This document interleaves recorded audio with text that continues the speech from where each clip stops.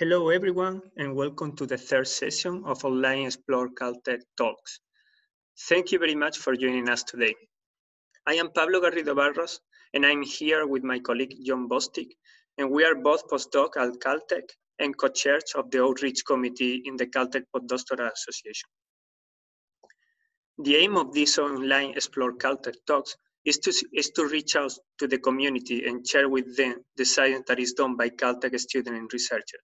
Unfortunately, the in-person event was canceled this year due to the current situation, but we are excited to keep the Explore Caltech talks online, given the importance that we think outreach has in the society. We would like to thank the people that have contributed to this event.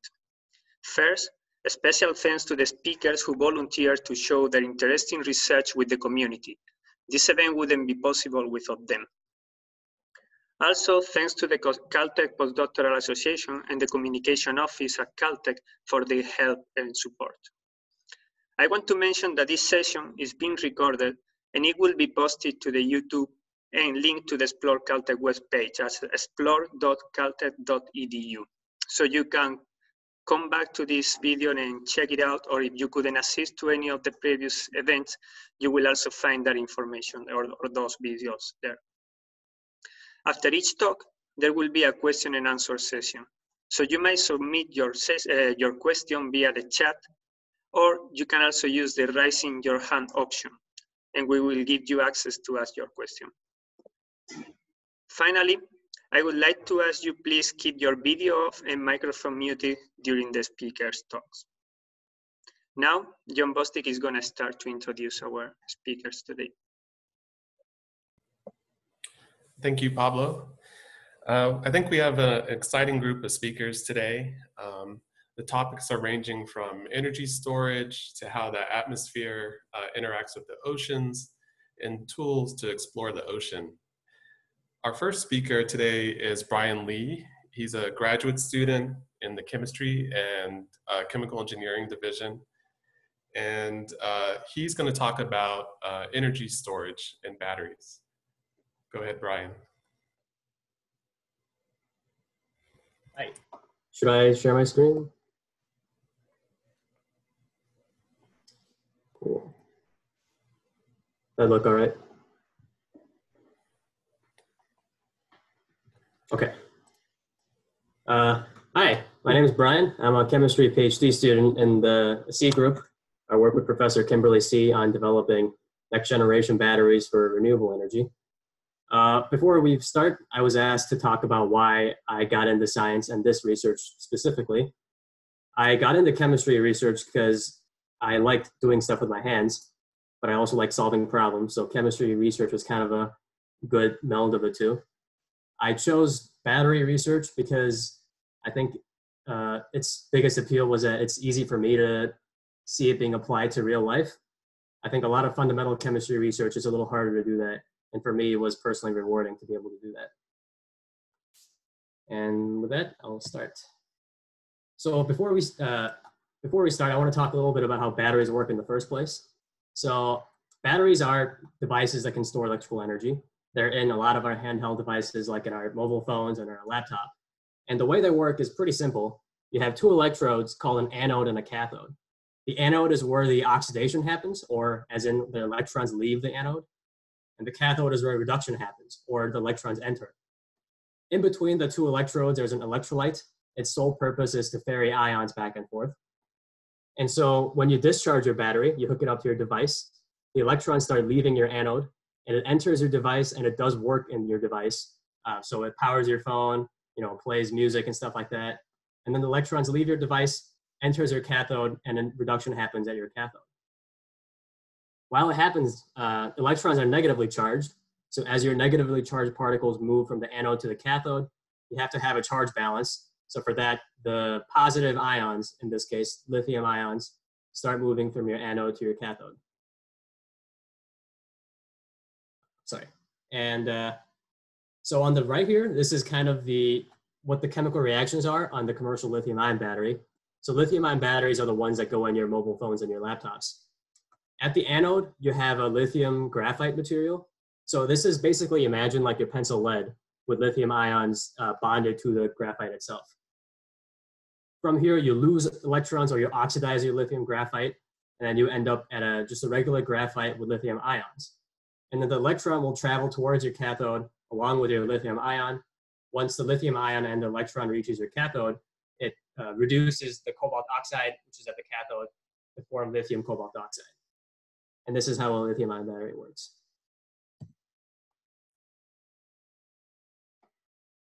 Uh, batteries we can use to power handheld devices, but we can also think about using them for renewable energy. Um, probably the most famous example of this would be battery powered electric vehicles, thanks to our buddy Elon Musk. Um, so if you look at this picture on the left, this is the heat map of nitrogen dioxide over LA County. Uh, this is from 2019, and this the bottom picture is from 2020. Due to obvious reasons, there has been far less cars that have been running in LA. And as a result, you can see that the concentration of nitrogen dioxide, which is a toxic gas and a big contributor to acid rain and smog, has dropped significantly uh, when there's less cars. You can also look at this, uh, this graph over here. Oh, I should use the laser pointer.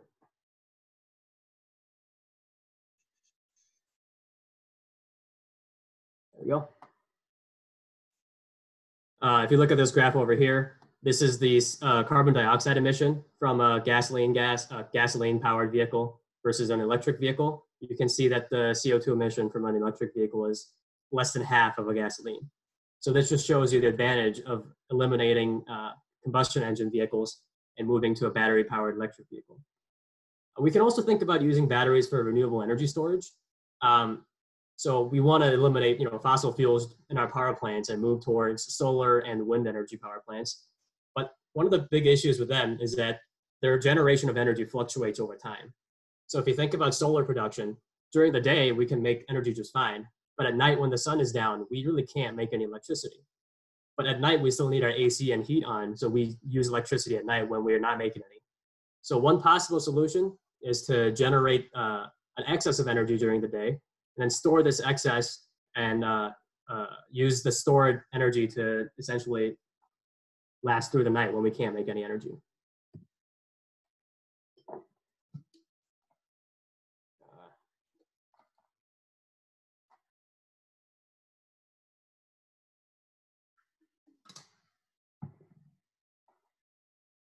Uh, so lithium ion batteries are pretty much, I don't want to say the best, but they are like the state of the art technology for batteries.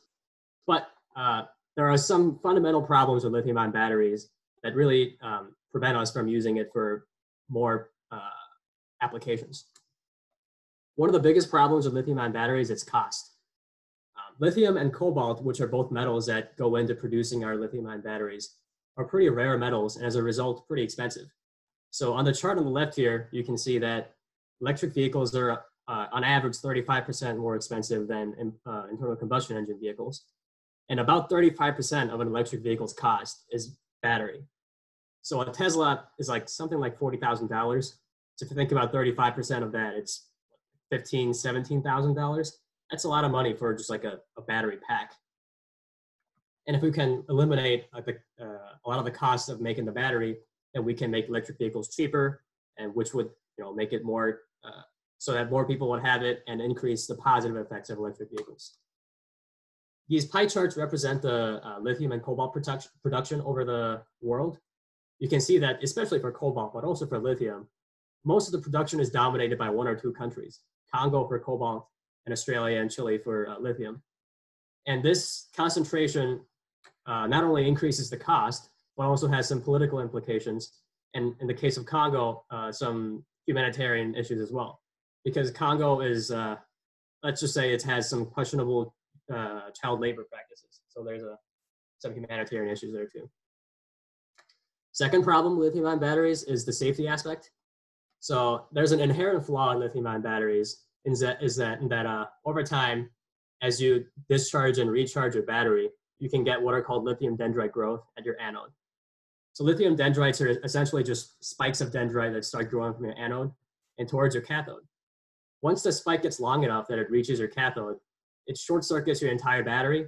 And as it short circuits, it gets hotter and hotter and the electrolyte is made up of a flammable liquid, actually. So as your battery heats up, uh, it's liable to explode. So if you look at this picture here, this is a picture of Samsung Galaxy Note 7. Um, the black charred region actually is pretty much exactly where the battery sits. So it's, the battery blew up. Uh, most batteries have pretty good engineering from the separator and an electrolyte to minimize this dendrite effect, but it's a fundamental flaw and there's a pretty small chance that it'll happen with all devices. So that's not great. Uh, to address this cost issue, a lot of uh, battery chemists, battery scientists think about replacing the lithium metals with more abundant metals like zinc, calcium, and magnesium. So this chart here shows you the abundance of, all, uh, of a lot of the elements in the Earth's crust. You can see lithium and cobalt are sitting you know, somewhat rare, but you can see magnesium and calcium are much more common than lithium and cobalt. Zinc is about the same as lithium, but I'll touch it in a little bit. But it, as you can see in this production chart, zinc is a lot better spread out across the world. And so its uh, cost, as reflected by this chart over here, uh, is much cheaper. You can see the price of lithium carbonate is over double magnesium, and other metals are much cheaper than lithium. Uh, magnesium, if you look at it, it actually looks like it's the production is skewed pretty heavily towards China. While production is concentrated, the reserves are actually pretty well spread out across the globe. And um, you know, as magnesium demand increases, people uh, countries will start developing them.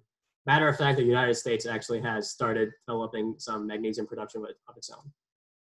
You'll notice that the calcium pie chart isn't on here. That's because there's so much calcium production over the world.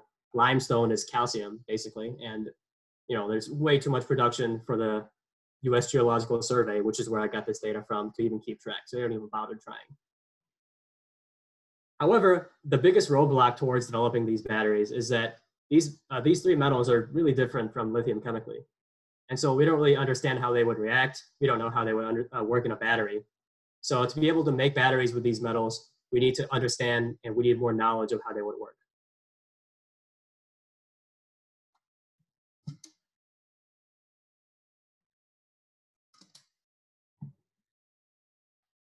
To address the safety aspect, um, we think about using solid electrolytes.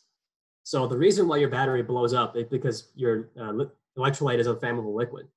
So if we can replace the flammable liquid with a non-flammable solid, then you know it reduces the risk of having a portable bomb in your pocket. Um, another possible advantage of a, a, solid electrolyte is that if you think about that spikes growing out of your anode, if you have a liquid there, there's really nothing physically blocking the spikes from growing in. But if you have a solid against your electro, uh, your anode, then that physical that electrolyte serves as a physical barrier in suppressing the growth of the spikes. So that could suppress dendrite formation. As I mentioned earlier, the sole purpose of an electrolyte is to allow ions to move through it.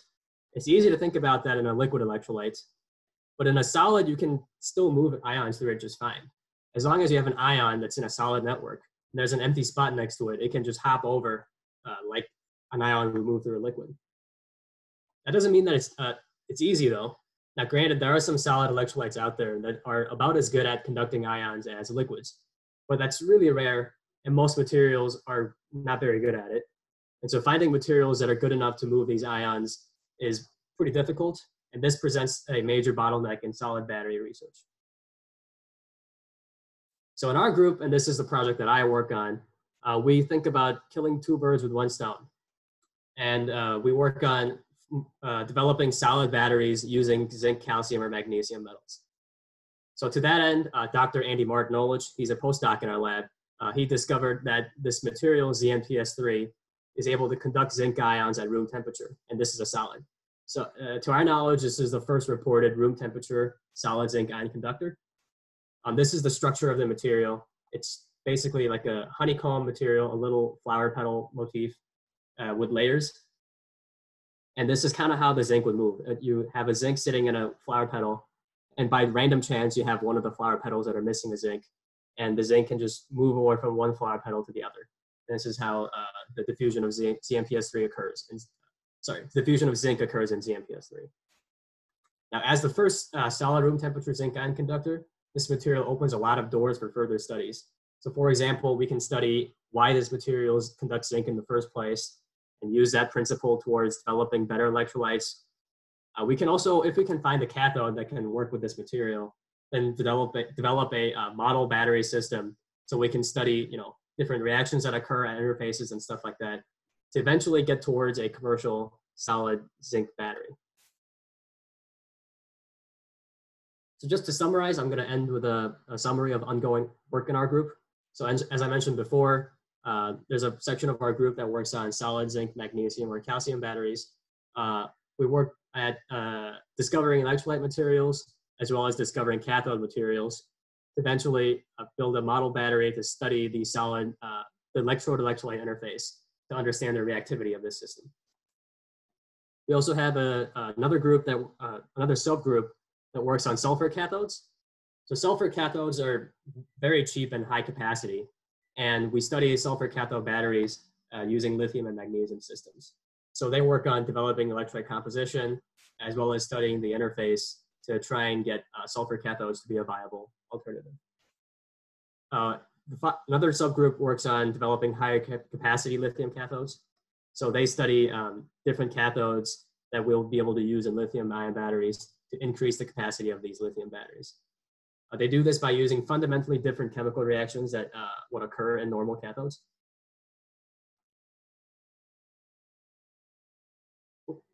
And with that, uh, I'd like to thank the uh, organizers of this event, Pablo and John. Uh, thanks.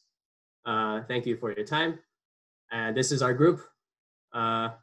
this is our boss, Professor Kimberly See. She's good.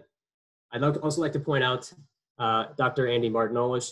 Andy and Zach were my two direct mentors on getting my feet wet in this project, and they've been really, really helpful. So thank you guys. And because it's the 21st century, I guess I'm obligated to point out that we do have a website and a Twitter you want to check those out. And thank you. Thank you very much, Brian. That was a great uh, presentation, great talk about something very common and useful in our life, like batteries, but that normally people don't really know how they work and how can they be dangerous, as, uh, as you said. So I think now we have some time for some question. I just want to remember that you can either upload the question uh, via the chat uh, feature or just raise your hand, also virtually.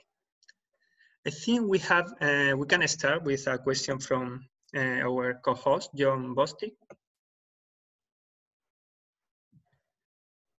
John, uh, do you want to ask the question? Sure. Thank you, Pablo. Yeah, I have a question, Brian. Uh, you talked about at the end, um, you still need to develop the the cathode for the for the zinc conductor. Uh-huh. What are important properties for that cathode? Uh, probably the biggest uh, property is that it's reversible. So you know, with lithium-ion batteries, you need a discharge and then recharge, and that discharge and recharge, as I mentioned before, involves a chemical reaction. And a lot of materials, as it undergoes that chemical reaction of reduction and oxidation, it changes uh, the material both like chemically and mechanically. And so as a result, it fails over time. So that's probably the biggest barrier, I would say. Okay, thank you. Yep.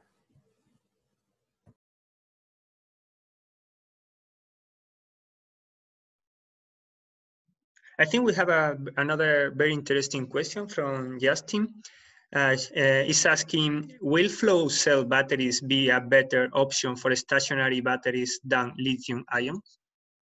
Uh, it's an interesting question. I would say I don't know enough about flow batteries to really answer that question definitively. Yeah, I don't know what else I can say. Do you want to, to bet? Do you want to have a guess? Mm. I think I'm obligated to say I would bet on uh, these batteries, but I'm sure flow batteries have a, a good like good things of their own. I think flow batteries are probably easier to maintain because you have like tanks of stuff flowing in. Um, but yeah, besides that, I don't really know too much about flow batteries. Okay. Um, okay. I also want to ask you no. Another thing is like, what in your opinion you think is the uh, the main feature that determine the size of a battery? Because I think the size of a battery is one of the main issues in the development of, of practical devices. So what do you think is the, the main feature that uh, determine the size? Like is the nature You mean like the, the, physical size of the battery pack? Yes, exactly. Is the Yeah, nature so- of the reaction or? Yes, go ahead. Um, I think that depends on the gra- what we call gravimetric capacity, which is how much charge per gram of, I guess, battery will be able to hold, and that really depends inherently on the what the electrode materials are. So lithium-ion batteries are gated because the anode has to be lithium graphite, and lithium graphite is not very high capacity. So that's kind of what makes lithium batteries uh, inefficient as far as size per uh, capacity goes. So that's another part of the reason actually why we work on these like magnesium, zinc, and calcium batteries is because they have much higher theoretical capacity. So by that I mean like the same volume of battery, not volume, same mass of battery will be able to hold more uh, energy. Okay, great. Thank you very much. So, well, yes, I want to thank you again for this great talk. And I think it's time then to, to move to, to the, our next speaker. Yes, and our next speaker is Michael Kipp, and he's a postdoc in geochemistry in the Geological and Planetary Sciences Division. And he's going to present a topic on uh, atmospheric gases and uh, the marine environment interactions. Go ahead, Michael. Great, I'll share my screen here.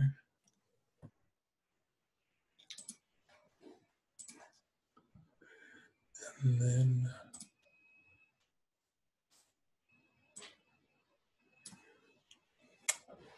Alrighty. Um, so yeah, I'm a postdoc here in uh, geological and planetary sciences. I'm working with uh, Francois Tissot, who's a new faculty member, and Jess Adkins. Uh, and the project I'm here to work on is sort of motivated by this question, uh, where does atmospheric CO2 go during ice ages? Um, and what sort of drew me to this topic is that in my PhD, I used to study um, very long-term million to billion year scale evolution of Earth's climate and how that impacted, say, the evolution of life.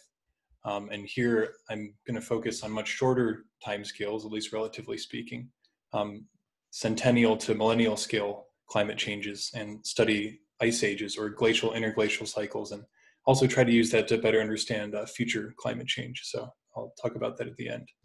Um, I'm going to motivate this um, with this picture here. This is a picture taken flying over southern Greenland, and you're seeing these enormous ice sheets, icebergs calving off of them, taking sediment pieces of the mountains, uh, rafting them into the ocean, being deposited in sediments. Um, there's a whole host of geological processes um, that occur near glaciers that are very uh, well characterized today. But this actually was not very well understood or understood at all uh, just in the mid 1800s. And uh, I'll just, oh. there we go. And actually, the process of discovering that there even were ice ages was sort of an interesting um, story. So it took very strange um, geological oddities, such as these enormous rocks that are occurring out of context. Uh, they're made of material that's not the same as the rock beneath them. They are not located near any sort of topography or natural source for the, these rocks. Um, and they really posed a, a, puzzle for geologists in the 1800s. They, they first hypothesized these might have been deposited by a global flood. Um, and eventually, though, in large part due to the work of uh, Louis Agassiz in the late 1800s, it was realized that these are glacially deposited uh, features. We call them now glacial erratics. And actually, the way that they uh, arrive in their present location is that they were carried by enormous ice sheets, things that were kilometer thick um, masses of ice over northern Europe and North America, places like New York and Chicago. Um, these were carried by these ice sheets, left in their uh, place as the ice sheets melted and receded. Um, and so the recognition of these sorts of geological features is actually how we discover that there even was a time in the past um, that was a, a glacial period. Um, but this was, you know, like I said, in the late 1800s, and we've come a, a really long way in our understanding of what an ice age actually is. Uh, and there are two major discoveries in the last century, in the second half of the 1900s, that really um, shaped our understanding of these uh, phenomena. So the first one was this seminal paper by Hays, Imbrie, and Shackleton, where what they did is reconstructed the temperature uh, of the Earth through time. And the exact way they did that is not so critical here. They uh, measured oxygen isotopes in these benthic foraminifera. So these are organisms that um, biomineralize calcium carbonate in the ocean. And the isotopes of oxygen, when they get incorporated into that carbonate, it's actually a temperature sensitive process. So values, um, lower values that are actually plotted towards the top here mean warmer temperatures. And then these values would imply colder temperatures. And when they looked at sediment cores, they saw that there were these fluctuations occurring uh, between warmer and colder temperatures. And they weren't just occurring um, randomly, but they actually looked at the period uh, of this fluctuation.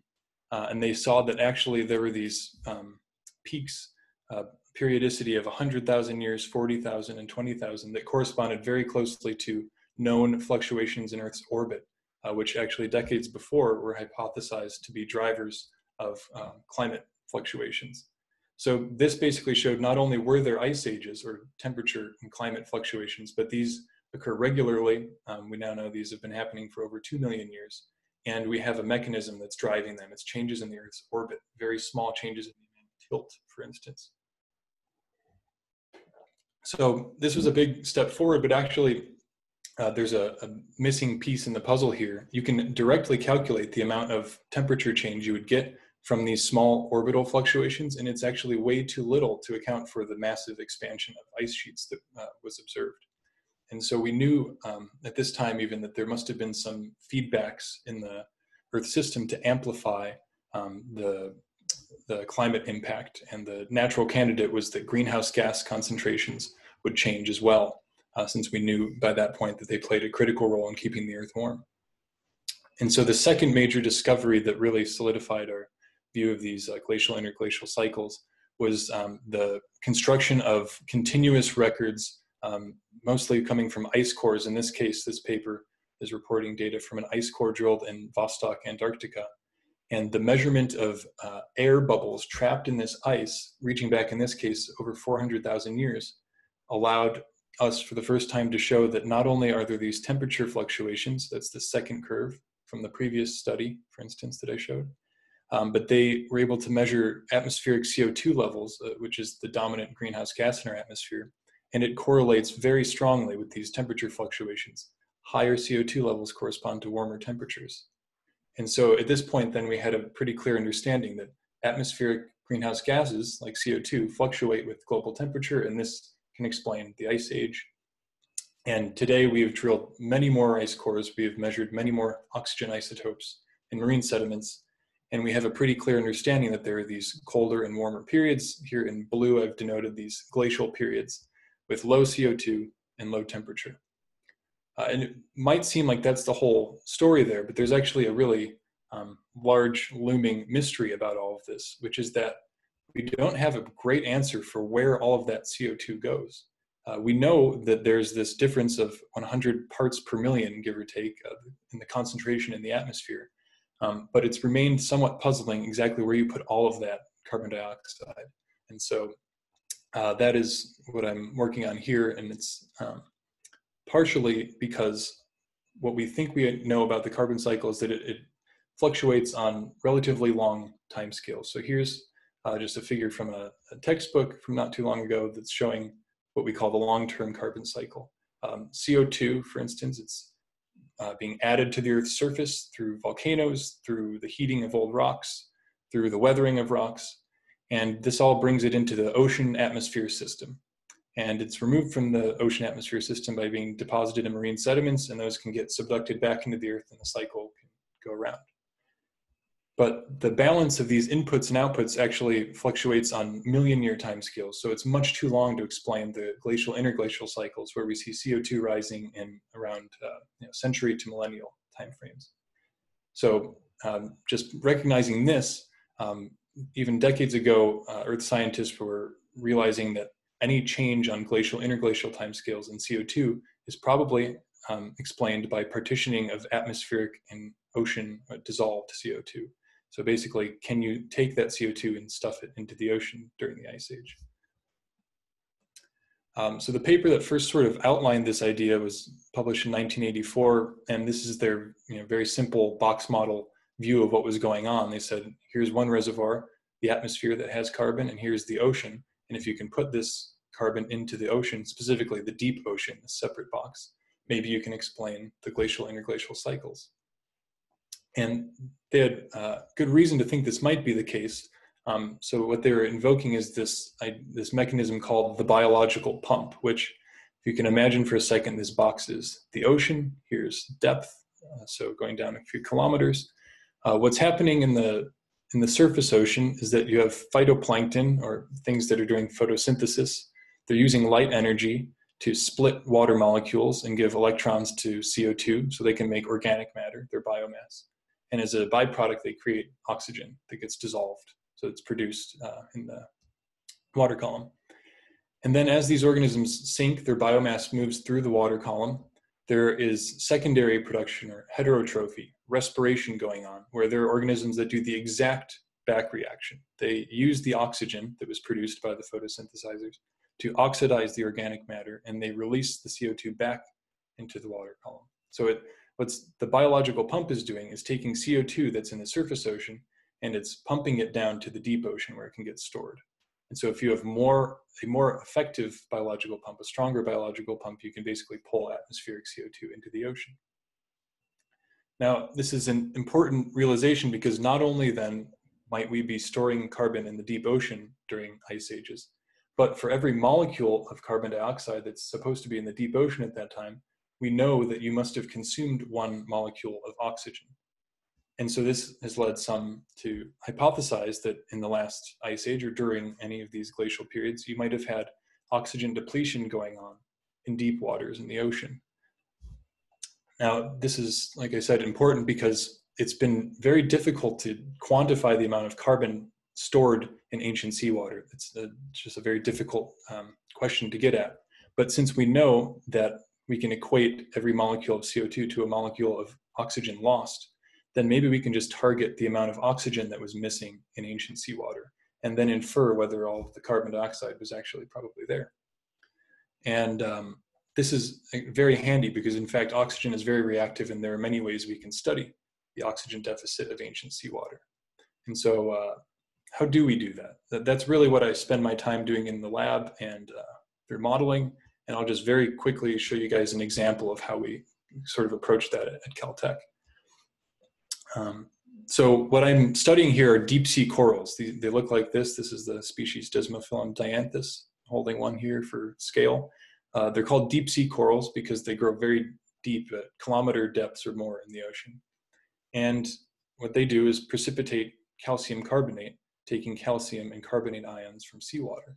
So they are in many ways a direct archive of seawater chemistry.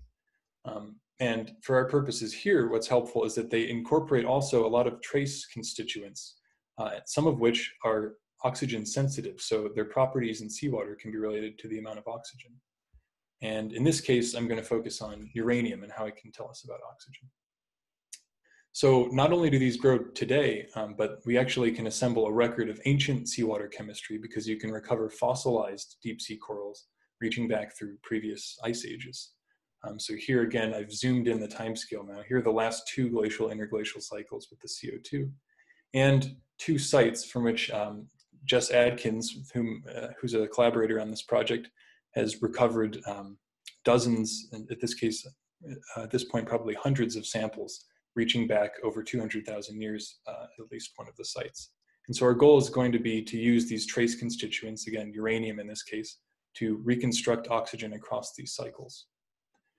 Um, so very, very briefly, the idea, the reason we could do that is that we are measuring the isotopes of uranium, um, the different forms. There's a mass 238 and 235 uranium that we care about.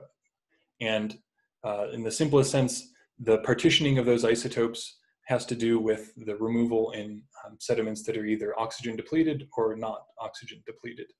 And what we can do is use equations such as these to relate the isotopic composition of uranium in seawater, so the amount of 238 relative to 235, to the relative importance of these different sinks. And therefore, if you know this value, you can say how much of the seafloor is anoxic, for instance. So our goal is to measure these fossilized corals, which we know based on studies of modern corals will record the seawater value. And using that, then we can calculate the amount of seafloor that was anoxic uh, in the past. So I haven't gotten to that point yet because I've actually spent a fair bit of my time here as a postdoc in quarantine. Um, so these are not real data, but this is sort of an illustrative um, example of what we might find. And I've done some modeling to show the sort of constraints we could get. Um, so here's ranging from a very minimal signal to something large. And what we'll aim to do basically is fit these data with a model that can then tell us something about the evolution of um, seafloor anoxia. And then we could look at any given time point. Here I'm showing a histogram from uh, what we call the last glacial maximum, which is the peak of the last ice age about 20,000 years ago. And we can see these different scenarios imply either near modern levels of seafloor anoxia, which is in the gray band, or higher values. Uh, and if we couple those sorts of constraints to um, 3D sort of general circulation models, you could actually uh, use that constraint on oxygen levels to say something perhaps then about um, the amount of carbon stored in the deep ocean. So uh, stay tuned on that front. And then um, lastly, just to take a step back and talk about why else we might care about this, it's not just to understand how ice ages work. We've actually observed um, oxygen depletion in the ocean in the previous decades, actually leading up to the present, and it's expected to continue as we keep pumping more CO2 into the atmosphere. Um, so just to give you a sense of scale, here's the end of that trajectory, here's the last glacial interglacial cycle. There was a difference of 100 parts per million CO2 between the last ice age, when there was kilometer thick ice over New York City, and uh, the year 1700. And we've added more than that much CO2 to the atmosphere since 1700. So clearly, if we want to understand the impact of uh, human uh, CO2 emissions on um, the marine environment, we need to better understand the relationship between CO2, oxygen depletion, and climate. Um, so with that, uh, we don't have a nice lab picture yet because we're a pretty young group, but uh, thanks all for tuning in and I'm happy to take some questions. Thank you very much. Uh, thank you very much, Mike. That was a really good talk and really impressive how you managed to get so much information and correlate all with things that happened a lot a long ago. So now it's time for question, and we have a question. It's saying, uh, where do you find the fossilized uh, deep sea corals? Oh, where can you? So yeah. these um, two sample sets that I was talking about here, uh, they're recovered from sea mounts, um, some near um, Tasmania and some in the North Atlantic. Um, and actually, this might play well into the, the next talk. Um, there's some cool ways that you can um, recover these using uh, robotics, and basically, you're going down on submarine dives to recover these things. Um, so that is not personally what I've been involved with, but that's been decades of work to uh, locate these sample archives and recover um, you know, dozens and now hundreds of fossil corals. Okay, thank you. So I also saw one hand raise. Yes, uh, Dominique. Okay, yes, uh, let me. Yep. Yes, I think you can go yep. ahead ask. Yeah. Thank you very much. This was a very interesting talk. Thank you very much. I'm interested you mentioned you you're interested in kind of the difference between the isotopes you see in uranium, but I'm so as far as I understand, usually isotopes don't show up in chemical. Uh, they don't show much of a chemical difference. So I'm very interested in how uh, what's the fundamental process why you measure different isotope concentration depending on the oxygen level. Yeah, that's a very good question. Um, so by and large, um, chemically speaking, isotopes do behave similarly. So we can refer to all of uranium as a single you know, element that has a certain behavior. But uh, at the very fine scale, there are very minute differences in the uh, basically the reactivity or the partitioning of different isotopes into different bonding environments. Um, so in the case of uranium, it's a bit strange actually. Um, the way that this happens because it's a, an extremely heavy element. Um, and so there's a very small difference between the masses. Um, but in just as a general rule in isotope geochemistry, you tend to get um, heavier isotopes preferentially sitting in stronger bonding environments. And you can actually calculate this um, theoretically, and it corresponds very well to the measured isotope effect a lot of times. But these are uh, expressed in parts per thousand um, relative differences in in the largest case, and in some kind uh, instances, parts per million. So very small differences in their uh, chemistry. Does that help?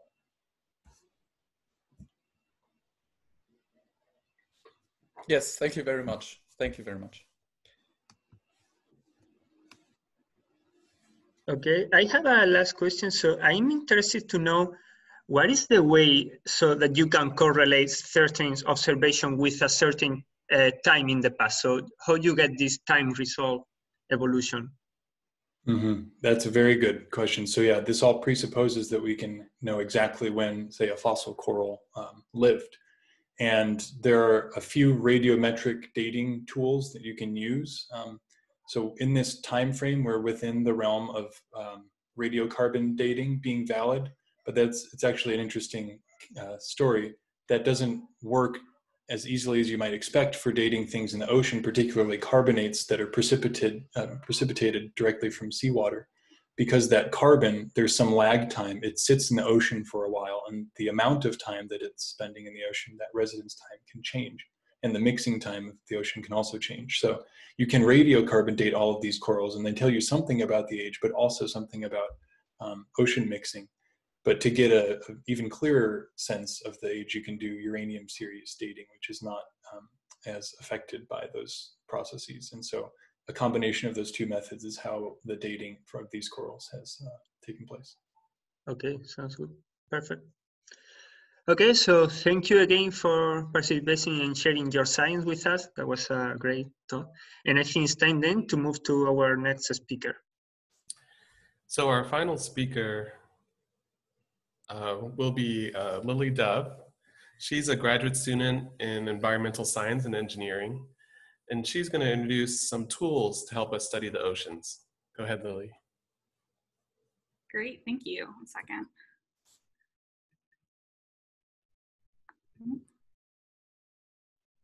All right, is that looking good?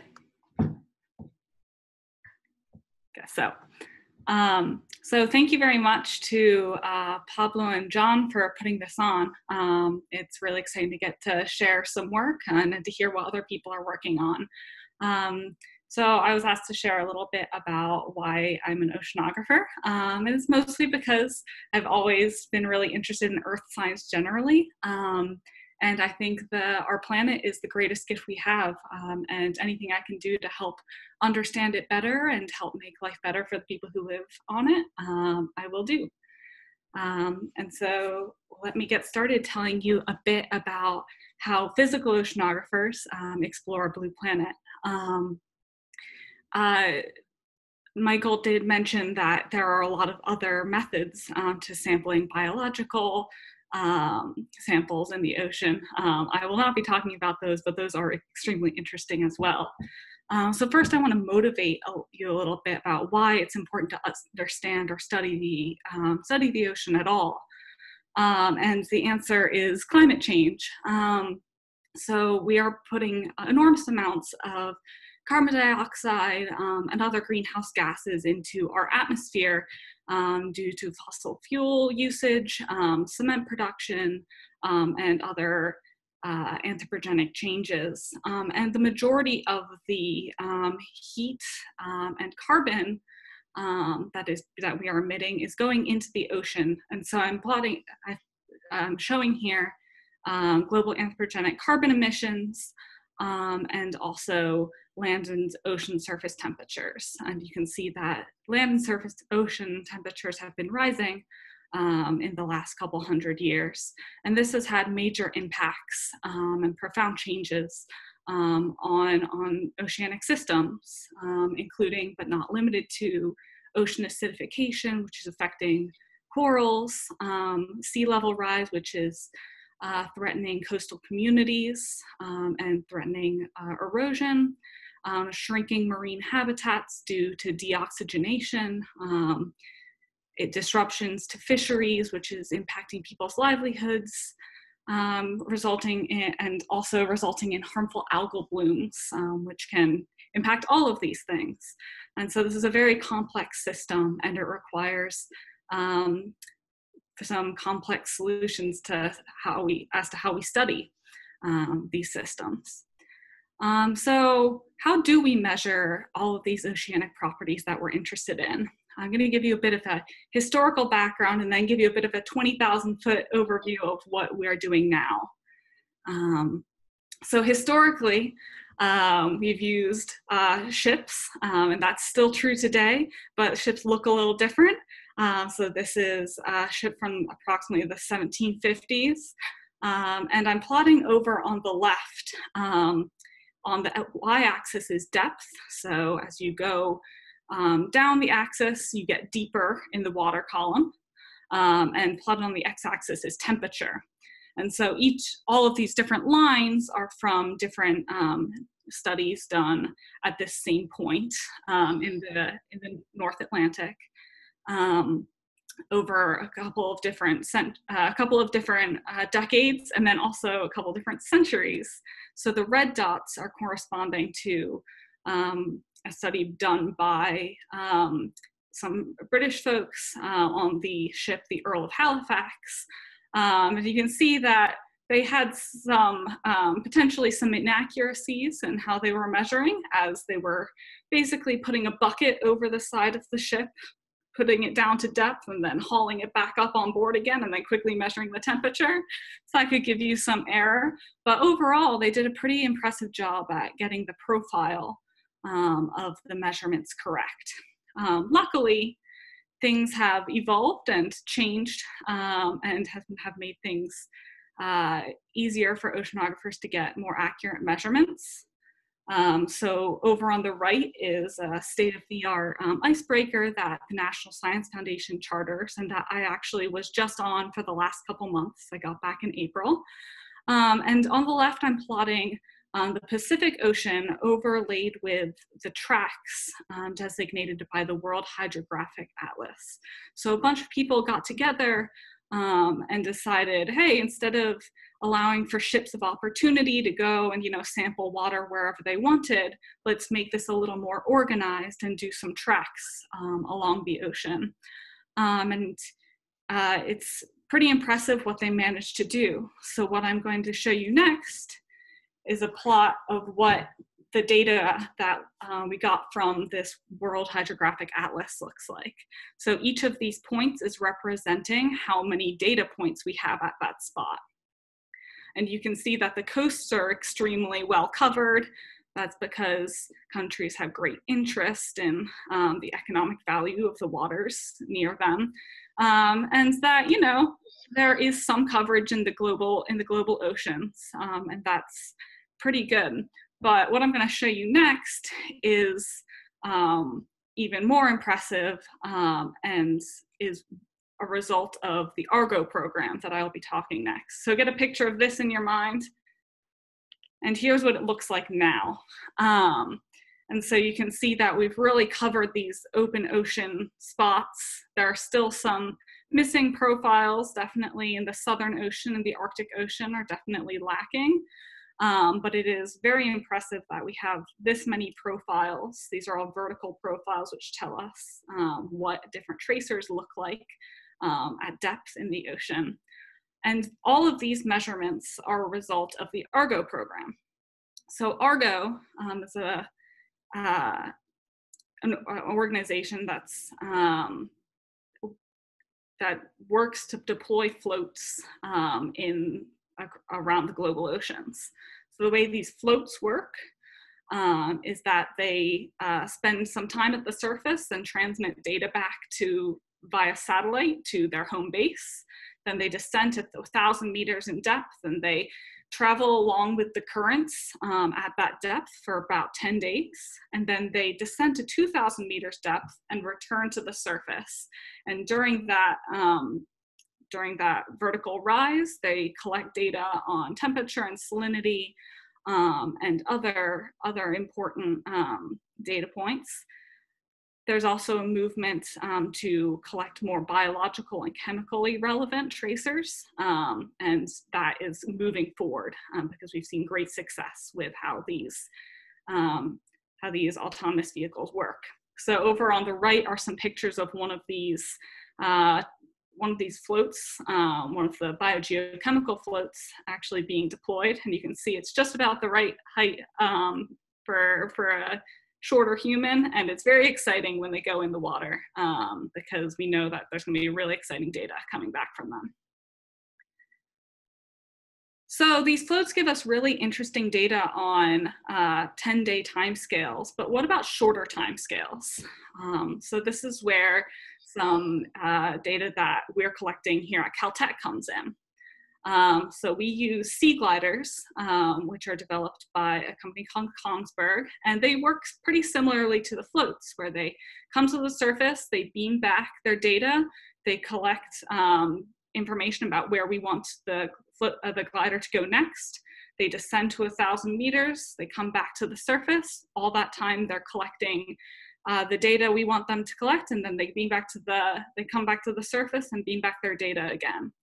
Uh, and so these are extremely versatile and useful, use, useful tools um, for understanding the upper 1,000 meters of the ocean. And over on the right is a picture of me and a colleague um, putting together a glider um, that we were just about to deploy. Um, we deployed this glider in the Southern Ocean in the Bellingshausen Sea um, off the coast of Antarctica um, from January through March um, this year and got some really great results.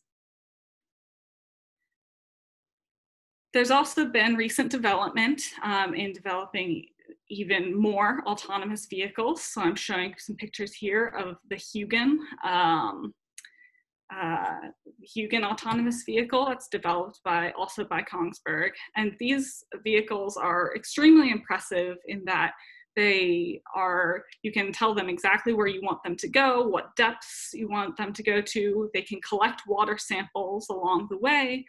Um, they're very versatile. They're also very new. Um, and so there's uh, very limited data coming uh, or available from them right now, but they're fascinating. And one of the most interesting things is that they're able to go underneath ice shelves. Um, and so the International Thwaites Glacier Collaboration, which is an organization looking to understand one of the most um, fragile ice shelves on our planet, Thwaites Glacier, um, has deployed one of these uh, vehicles and was able to get it to go underneath the ice shelf and collect um, data that has never been collected before. So these are kind of the future in terms of um, uh, oceanographic research.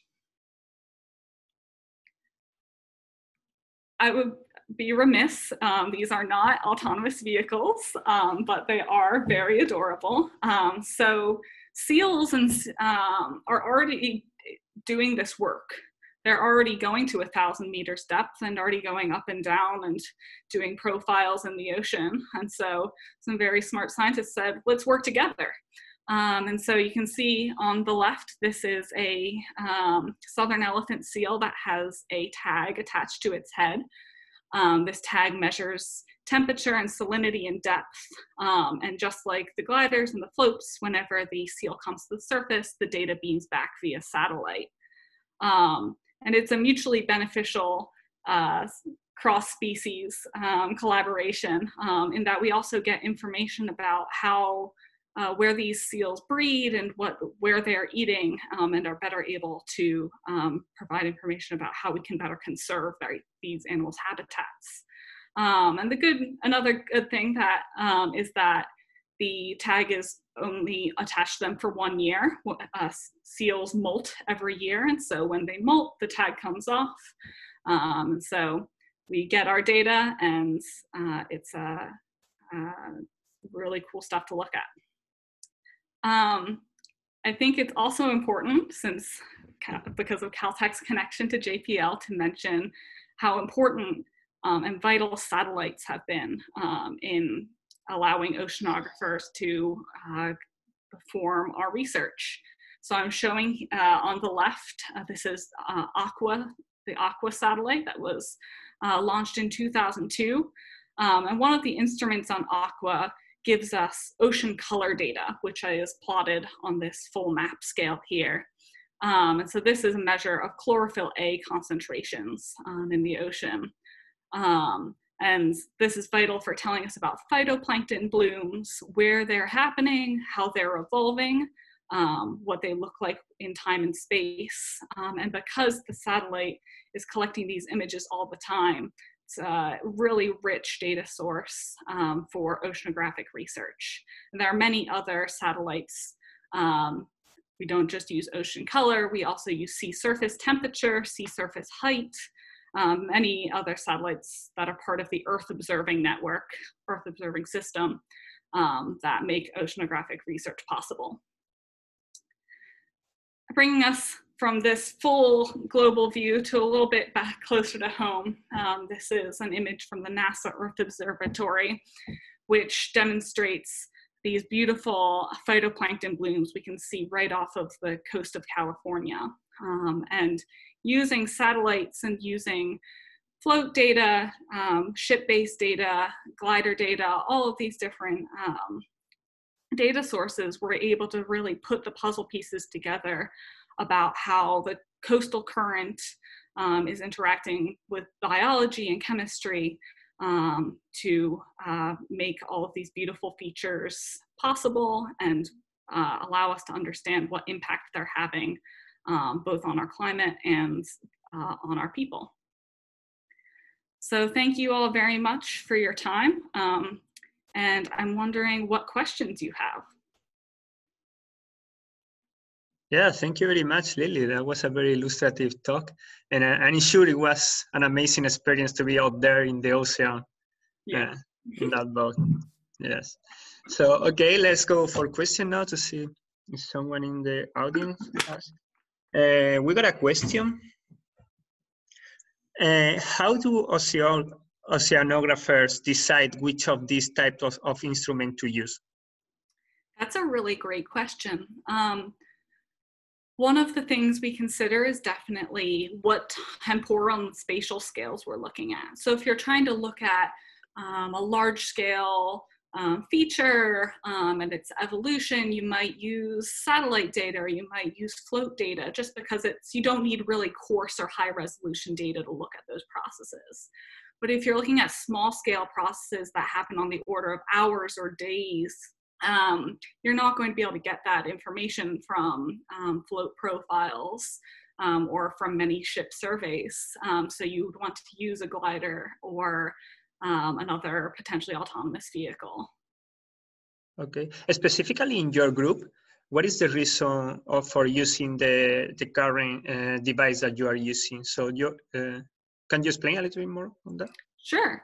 Um, so we are, we mostly focus on research with gliders, um, which are the uh, instruments that yo-yo back and forth between the surface and a thousand meters depth. Um, there are several reasons we do this. Um, one is that we are focused uh, on processes that are occurring between the air air-sea interface um, and the mixed layer depth. So the ocean has a mixed layer and then the subsurface ocean. Um, and we're interested in the transition zone between those two. And that usually happens in the upper couple hundred meters. And so these um, instruments give us really high resolution data from um, in that area. And we're also interested in um, processes that happen on short temporal scales um, and how those processes affect uh, distributions of different um, variables in the ocean. Okay, sounds good. Uh, let's see. I have also one question for you. So, what makes uh, studying the deep uh, ocean interesting compared to, for example, the coast? That's a good question. Are you thinking about the open ocean or about the deep ocean? Uh, well, I guess it would be interesting to know about both. sure.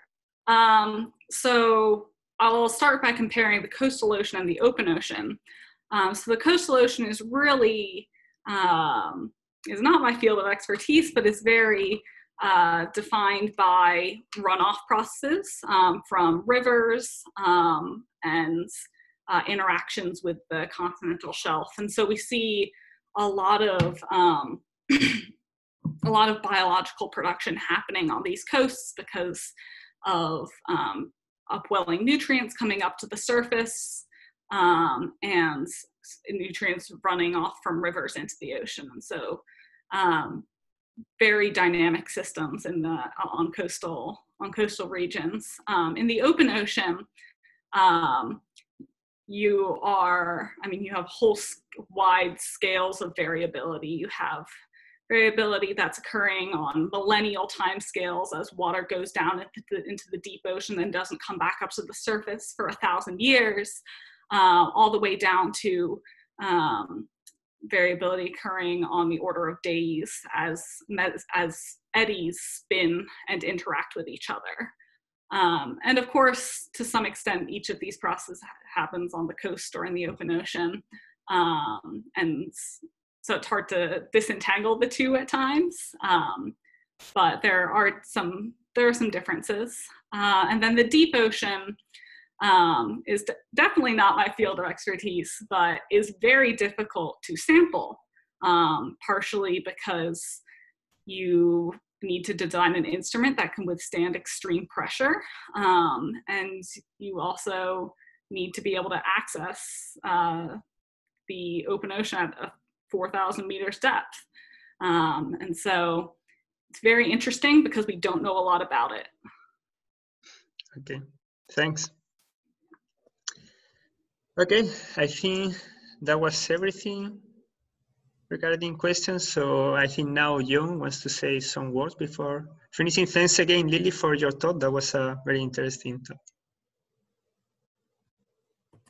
Yes, thank you. Thank you, Lily, and, and thank you to all the speakers today. Uh, I just wanted to say uh, this is our last session for the month of May, uh, but because of interest in these talks, uh, Pablo and I will organize some more talks in the coming months, and we're we're starting to recruit speakers for those talks, so we're excited about that. And um, you may find the videos for these first three sessions on YouTube in the Caltech, uh, Caltech YouTube channel, or you can search Explore Caltech on YouTube. Anything else to add, Pablo? No, I think that was everything. So we are excited to be able to continue with Explore Caltech in the following uh, months. And, and yes, just reminding uh, audience that if they, they want to still uh, join for, for this exciting series of, of talks, they can do it. We are gonna send more information on that uh, uh, in the future. And yes, we hope to see many interested people that we can keep this series of talks going on and, and entertain people with outreach coming from Caltech.